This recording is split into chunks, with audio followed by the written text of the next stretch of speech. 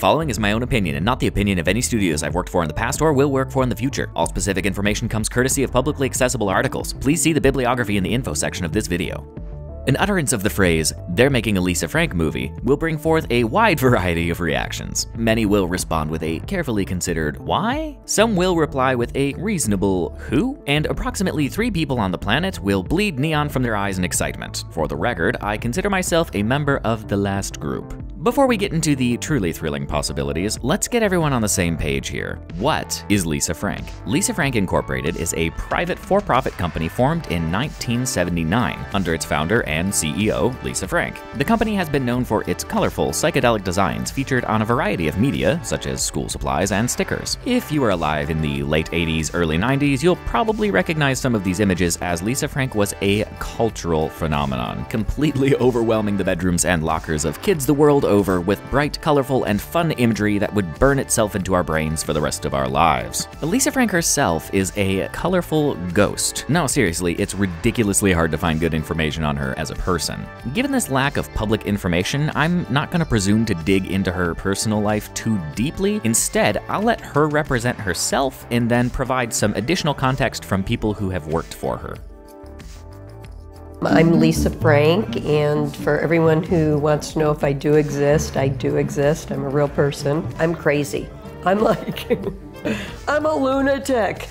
I mean, you, we have to stop me and say, okay, it's enough, because one illustration gets hundreds of hours in it.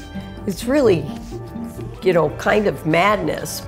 She doesn't give interviews too often, so I totally recommend checking out the full video. Link is in the bibliography in the info section below this video. In the words of one of her former employees, Lisa Frank is a very passionate lady, although a little manic and not always all there. She kind of looks like one of her characters, very over the top and very colorful with big hair and really big eyes. Yet not all who knew her have such glowing words. From the outside, it's colorful. You've got the rainbow, the stars, the hearts on the building, the statue of the panda, but inside it was like an abusive alcoholic home. I don't think they had a lot of business acumen. I don't think they ever did. I think Lisa's parents funded the start of her company. She's an artist, not a business person. From another, I don't know a single person who hasn't heard horror stories about the work environment there. Every person who's ever worked there seems to have a case of PTSD from it. Rainbow Gulag really is an apt description. I don't want this video to turn into a takedown of the Lisa Frank company, but if you're interested in reading more deeply about the reportedly terrible working conditions, Lisa's ex-husband who supposedly ran the company into the ground, and many tales of alleged micromanagement and verbal abuse, I recommend you read Inside the Rainbow Gulag, The Technicolor Rise and Fall of Lisa Frank by Tracie Egan Morrissey. Okay, now that we're all caught up, what is the Lisa Frank movie? In January of 2017, it was announced that development had begun on a live-action animation hybrid film about the world of Lisa Frank. The project was set to be produced by Jon Shestack, known for his production work on Air Force One, Firewall, and Open Grave, among other things. For her part, it sounded like Lisa was all in. She says, I've always wanted to do a feature film that brings the world of Lisa Frank to life. Frank said, We have so much backstory on our characters, and they've been alive in my imagination since the beginning. Jon Shestack clearly has the credentials, and I'm very excited about the vision he shared with me. Our fans are gonna love this. And from Jon, Lisa Frank's world is cheery. It's optimistic, it's hip, but it is without snark. It's just sort of impossible to scowl when you're smiling, and why would you want to? I'm so stoked to be part of this. And that, my friends, is literally all we know. Since January 2017, nothing else has been released about the project. Is it still happening, or has it stalled out completely? It was reported to be a live action and animation hybrid movie. Why this choice over going full animation? Lisa Frank mentioned a large amount of backstory she's been storing up for her characters over the years, but most of her animal designs have very little personality and are super interchangeable. The allure of the brand was based on the in-your-face art style. Uh, There are just so many questions I have. I fear, however, that none of these questions may ever be answered. I fear, dear viewer, that the untitled Lisa Frank movie may be in development hell. Now we come back to our earlier explanations. Since their fade off in popularity in the 2000s, Lisa Frank has had somewhat of a renaissance. They had a brief tie-in with Urban Outfitters as well as a continuing presence at Hot Topic, and they've started licensing smaller companies to do their manufacturing for them. But that resurgence seems to have lost a little steam. The whole 90s nostalgia craze is cooling off again. This may be putting a damper on the movie plans. Adding to the pile, merchandise-oriented films have had a rough time at the box office lately. For example, unlike the surprise success of the Lego movie, each subsequent Lego movie made less money than the one before it. The merchandise as movie trend just isn't reliable. Ugly Dolls and Playmobil absolutely tanked at the box office, but Detective Pikachu did pretty darn well for itself. And in terms of public awareness, I would put Lisa Frank at around the Playmobil level, but even more established brands like Lego have seen diminishing returns, regardless of critical and audience reception. The volatility of this trend probably isn't greasing any wheels for this movie to get made either. Heck, they're still threatening to make a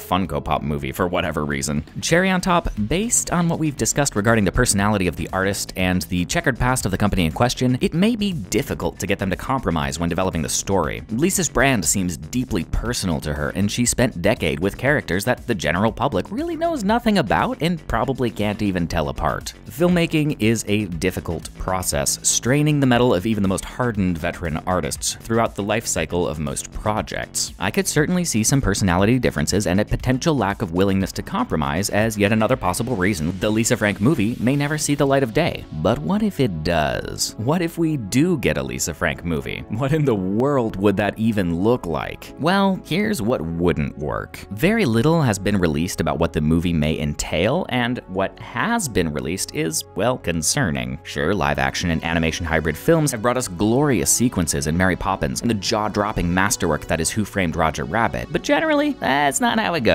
When you announce a live action and animation hybrid movie, here's the Vietnam flashback I have Cats and Dogs, Scooby Doo, Kangaroo Jack, Garfield the Movie, Scooby Doo 2, The Monsters Unleashed, Garfield 2, A Tale of Two Kitties, Alvin and the Chipmunks, Scooby Doo, The Mystery Begins, Alvin and the Chipmunks, The Squeakquels, Scooby Doo, Curse of the Lake Monster, Marmaduke, Yogi Bear, Cats and Dogs, The Revenge of Kitty Galore, Hop, The Smurfs, Alvin and the Chipmunks 2, Chipwrecked, The Smurfs 2, Alvin and the Chipmunks, The Road Chip, Woody Woodpecker, Peter Rabbit, Show Dogs, and Sonic the Hedgehog. Like, can you not? The art style of Lisa Frank is wild. It's saccharine. It's psychedelic. It is everything the real world isn't. So why would you force the real world into that? Also, the whole kid gets sucked into a magical land trope is so antiquated you could just skip it and throw up a title card saying, kid gets sucked into a magical land, you know the drill, and then cut to the rest of the movie and nothing of emotional impact would be lost. And here's what could work. If I'm developing a Lisa Frank movie, I'm developing an animated film, straight up. This will let us get wild and wonderful with the visuals without the limitations of reality intruding. Nothing would be branded as being Lisa Frank TM, but it would all be based off of her designs. The characters, conflict, and world would all have their own rules that don't necessarily relate to our world or the Lisa Frank products in our world at all. If they really wanted to push it, I would allow a concession by giving a character some folders, stickers, and a notebook, but the design on it would be like, I don't know, photographs of a middle-aged balding man in a button-up shirt holding a coffee cup. The other characters make fun of the one with the folders, because in this world, overweight overweight middle-aged men are adorable and cheesy, much like Lisa Frank is adorable and cheesy in ours. But Lisa seems 100% sold on her property not being cynical or edgy, so perhaps the storyline could center around the idea that there's some kind of sickness going around that turns everyone infected muted, grayer,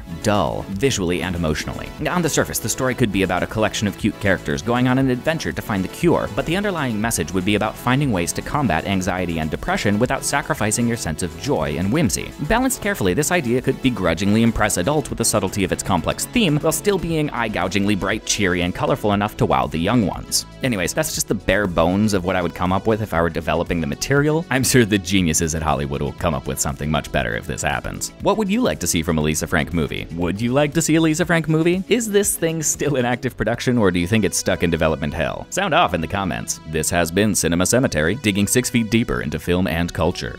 Hey, thanks for watching that video. If you liked what you saw, give us a like. If you didn't, don't.